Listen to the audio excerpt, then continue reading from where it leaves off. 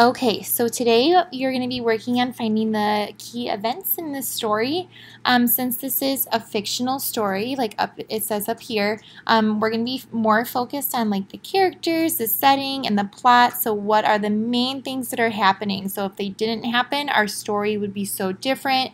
It couldn't really go on. So that's how you can kind of tell if it's a main idea or a main um, event in the story is if without it, the story wouldn't really have anywhere else to go.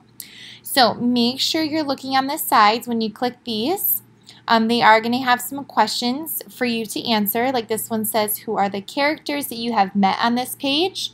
So when you read this page, you're going to write down over here, click and start typing the characters' names that you met. Over on this side, this one says what is the setting or where does the story take place. So that's telling me um, where the story is happening at. Is it in a city? Is it in a mall? Okay, you have to figure that out. And then um, when you're finding your key events, remember you're going to be using your highlighter tool. So I'm going to do the first key event for you. Um, the introduction says it is the late, or it's called Sarah and the Chickens. It says it is the late 1800s in the newly developed farmland of the West. Sarah, a young woman from Maine, answers an ad to become a wife for Jacob, a widower. A widower means his um, wife had passed away. Caleb and Anna, Jacob's children, fall in love with Sarah. Life on the prairie is different and demanding, and Sarah misses the sea. Will she stay longer than one month, to which she has agreed? All right, so that's kind of like a little introduction. Definitely have some characters there that you can write down over here. It even tells you the setting that you can put over here. So I'm going to continue to find our first key event.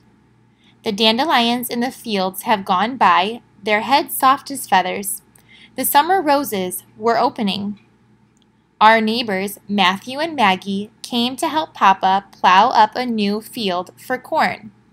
Okay, so that sounds like the first thing that's kind of happening is um, these neighbors, Matthew and Maggie, were coming over to help their father um, plow up a new field for corn. So I'm going to take my highlighting tool and I'm going to highlight that.